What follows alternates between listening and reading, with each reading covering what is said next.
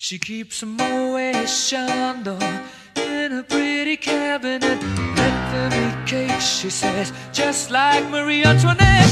Building a remedy for Khrushchev and Kennedy. At any time, an invitation you can't decline.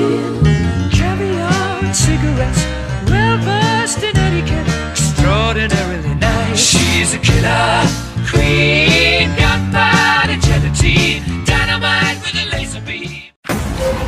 キラークイーン第3の爆弾バイツァーダスト